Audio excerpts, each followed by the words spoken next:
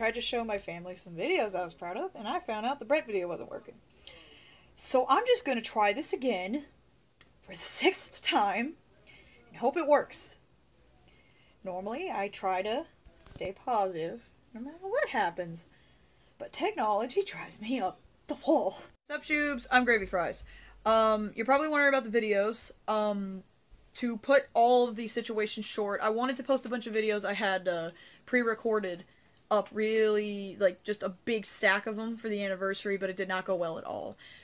Um, part of it was my fault, and I'm saying that up front. I'm going to try to be more cautious when I uh, post the videos now. But another part of it was mainly my uh, my editor that I was using, Power Director, was not working. Um, my uh, brother was busy, and the thing is sometimes he just can't do it, and he has his own you know life going on. So I got an editor myself, and well, when you get an editor on your phone, it's not going to be perfect.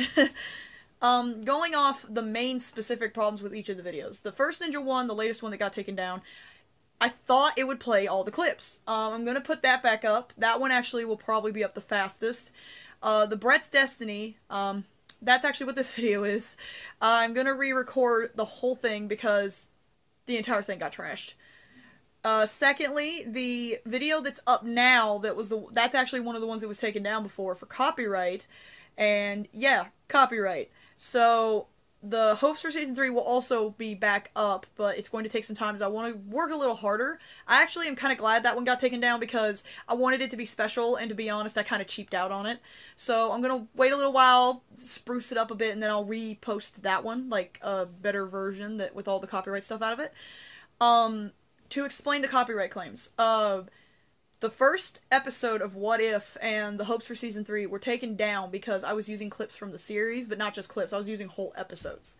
And it was actually taken down by Disney Enterprises. And yeah, I know a lot of people see that as a bad thing. I see it as a bad thing too, but um, my family has pointed out that if Disney is actually taking the episode like videos down of Randy, then that probably means they're doing something with it. So because but before they didn't care what I was doing because you know you guys have seen how much I post about Randy, whether it be pictures or videos.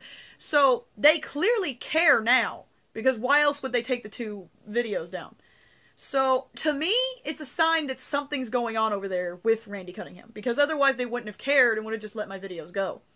Uh, yeah, I'm gonna change the videos drastically with the footage that's being shown, uh, as you can tell in the What If episode that's up right now.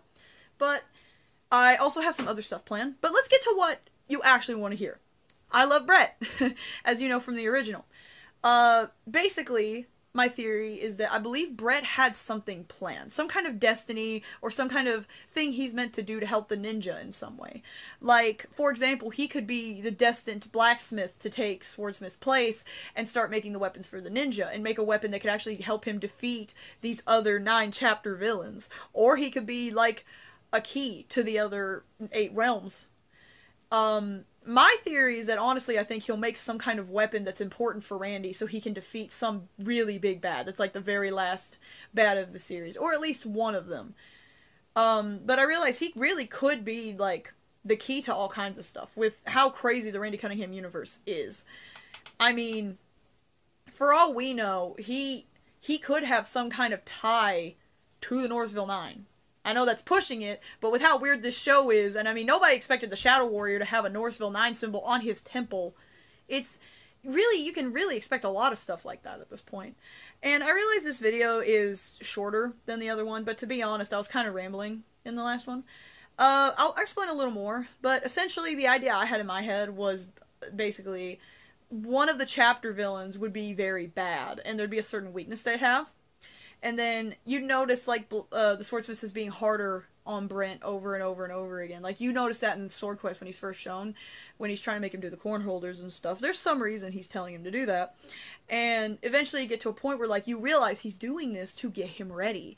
He ends up making the weapon Randy needs. Randy takes this weapon and it manages to defeat that villain, which would be his destiny. And plus, I mean, that'd be a pretty good uh, blacksmith destiny. You created a weapon that helped the ninja defeat a bad guy. That that's a pretty big destiny, if I do say so myself.